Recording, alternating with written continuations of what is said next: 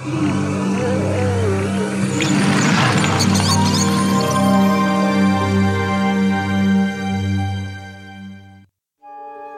does evolution matter now?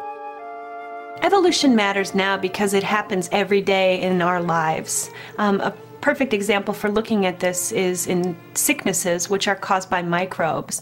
Um, microbes are small particles that are able to cause disease in human beings. They include things such as bacteria, viruses, mycobacteria, fungi.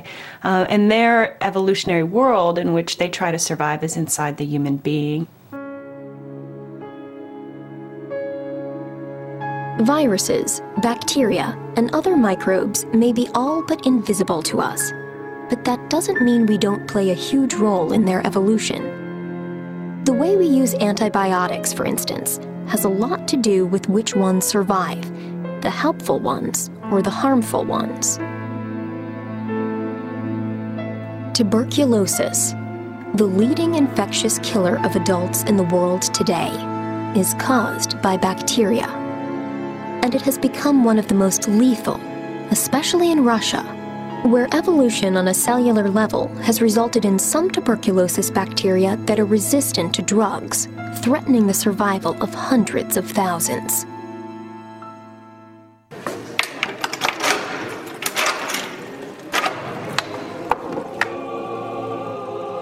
This is ground zero of a global tuberculosis epidemic.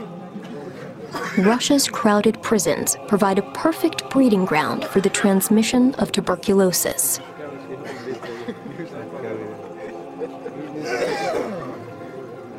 tuberculosis is spread through the air and is therefore a very threatening disease in that someone could cough and a few hours later someone walking into that room could inhale the air and become sick with tuberculosis. People who do become sick with tuberculosis develop a cough and fever and begin losing a lot of weight. If you look at the x-ray of the healthy lung, what you see is a lot of dark uh, areas within the lung. That's because the lung is primarily composed of air and that indicates that there's a healthy lung. When you look at the tuberculosis lung, you can see that there are many white areas What's in there is a lot of phlegm and blood and pus. Uh, the person is constantly coughing this up when they cough, and uh, it's a sign that the person is quite ill. Like Dr. Jennifer Furin, microbiologist Alex Goldfarb is one of the many health professionals who travels from the United States to Russia to combat multi-drug resistant TB. Every one of you has been diagnosed with multi-drug resistant tuberculosis. In other words, the type of tuberculosis that you have does not respond to regular medications. When people are sick with tuberculosis, we often need to give them more than one medication in order to kill all of the bacteria that are living within inside that person.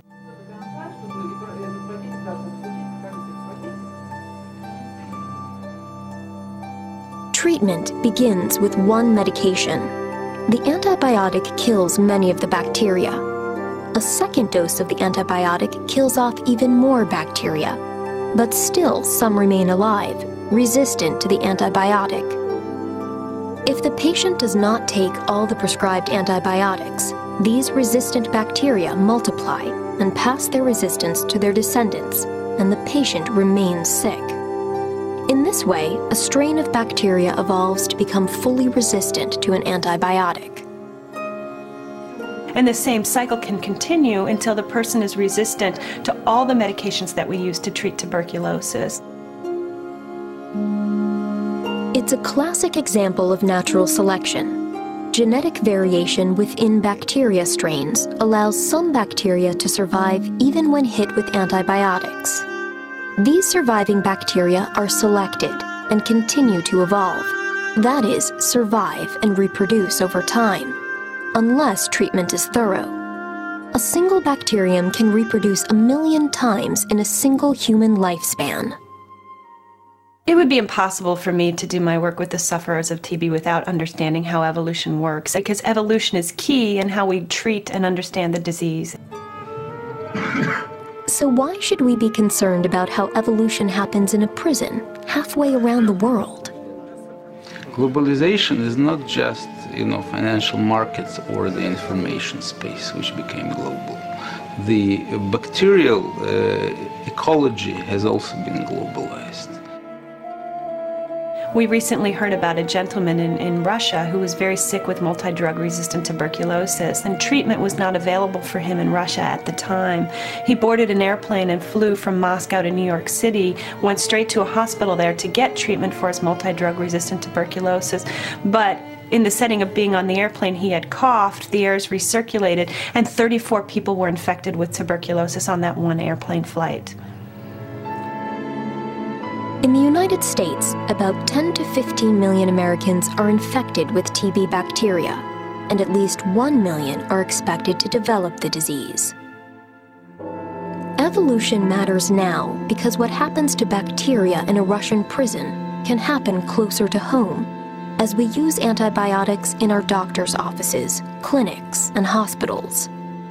Our very survival depends on our understanding of evolution.